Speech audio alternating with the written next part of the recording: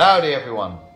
In today's lesson we're going to be learning about dealing with scammers and spelling lessons. Now what these scammers do, they, they what they're looking to do is get you to identify who you are. Because as soon as you identify who you are, they'll say to you, oh yes we have a money that you owe to the Inland Revenue, please send us some gift card vouchers or money through MoneyGram or, or Western Union, some crazy way to send money but they, they, they, as soon as you say a name, even if it's not your name, they'll say, yes, we have a, a debt in your name and we're sending the police round to collect this, or something ridiculous like that.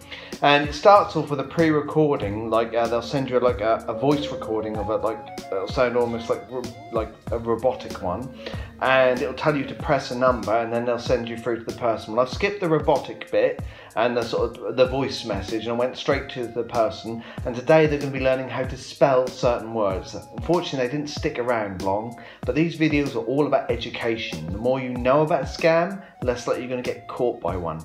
Never identify yourself. Can I help you? Ah, uh, well, you, I just received a message telling me to call you. Alright, what is it about? I don't know, you called me. Something to do with... You don't know? What no. is your name? Uh, Mike Ventolin. I'll spell you the surname.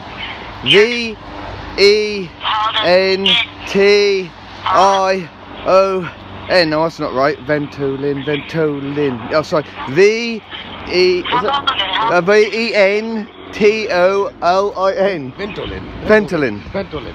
Ventolin.